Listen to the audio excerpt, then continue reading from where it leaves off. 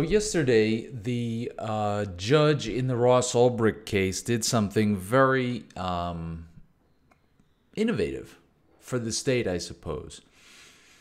They said that um, the uh, Free Ross protesters, as well as the um, the jury pamphleting, jury rights pamphleting operation, six fine folks from Philadelphia, as well as some others, I think, she said that if those folks didn't stop exercising their um, free speech outside of the courthouse, which is government property, public property, she says if they didn't stop doing that, then she was going to hurt the defendant, Ross Ulbricht, even more.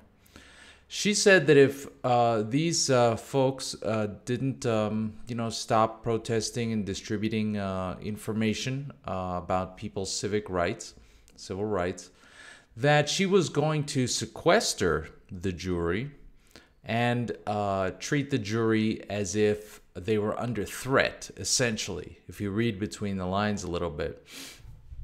Now, would this judge, Katherine Forrest, would she have said, Well, I'm doing it to protect I'm jurors, I'm doing this to protect you from this information about your civil rights because I don't want you to know it? Because you may then decide, uh, you know, you may render a verdict that I don't like. No, no, no. Of course, she's not going to say that. If you read between the lines, what she'll say is, this defendant is so dangerous that we have to sequester you under armed guard and anonymize you um, because he may send somebody to kill you. Yeah? So basically, what the judge did was she said, I don't really like all this free speech going on outside of my courthouse on public property. So if you guys don't stop, I'm going to punish the defendant by telling his jury that he's threatening their lives. That's the long and short of it, you know, if you read between the lines.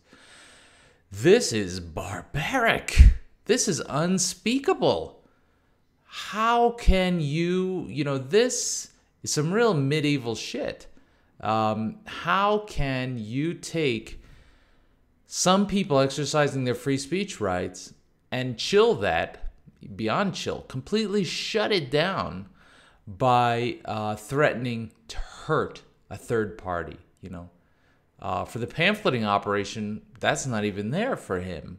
That's for there for everybody at that courthouse.